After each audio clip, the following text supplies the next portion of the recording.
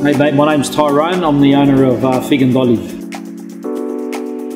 Uh, I was after some set of speakers, so I jumped onto Google, punched in entertainment theatre. Um, digital cinema came up, so pressed on the link, and that's where I went from there. I let them know that I'm a, um, a restaurant and I have a big open space. They recommended these speakers, so we went with that.